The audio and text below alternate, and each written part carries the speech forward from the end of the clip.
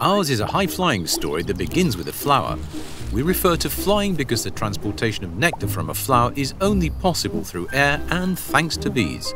Without them, we would not have been able to make our first recipe more than a century ago. Local honey and nuts are the base for this treat. It was 1879 when Alemany was born in the small town of Balaguer, a family dedicated to honey and the products made from it.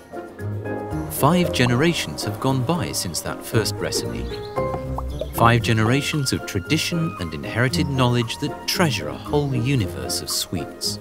At Alemany, we travel all over the country every year, following the rhythm of nature with its seasons, in order to collect honeys of the finest quality and offer them to the world. The same honey which we use to make our Mediterranean products such as handmade turrón. Thanks to this, our family is known all over the world as a gourmet brand. During recent years, this has earned us enormous recognition, even becoming one of the most awarded companies in the Great Taste Awards in the UK.